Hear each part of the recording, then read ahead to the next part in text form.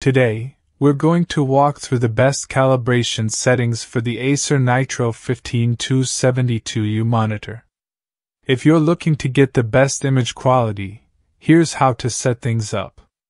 For the gamma, set it to 2.2. This will give you a balanced image, where the midtones are accurate and the blacks aren't too dark or the whites too bright. It helps create a more natural and comfortable viewing experience. When adjusting the color temperature, set the mode to user mode.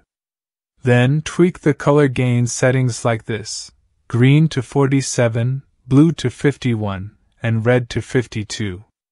This gives you vibrant, true to life colors.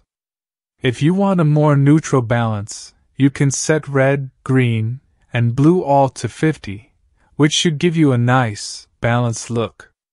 For brightness and contrast, it all depends on your lighting. Here's a quick guide for different brightness levels. If you want 200 nits, set the brightness to 67. For 120 nits, go with 51, and for 180 nits, set it to 33. If you're aiming for 15 nits, set the brightness to 8. As for contrast, set it to 49 for a nice middle ground between dark and light areas. In additional settings, you should turn off super sharpness. This option can add artificial edge enhancements that can distort the image. If you're watching HDR content, switch to HDR 400 mode for the best brightness and contrast. To make your gameplay smoother, enable adaptive sync. This reduces screen tearing and makes the experience more fluid.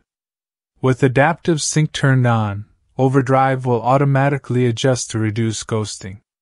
If you want to reduce motion blur, you have two choices normal or extreme. Normal reduces blur with minimal brightness loss, while extreme further reduces blur but might lower brightness and cause some artifacts.